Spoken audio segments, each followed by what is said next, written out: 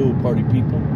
It's about 2:51 p.m. here, and I got gray, crappy skies all day long. All it's been like, gray and crappy all day long for the last day of our 2023. Isn't that crazy? Isn't that just beautiful? Look at my phone. It's so dark.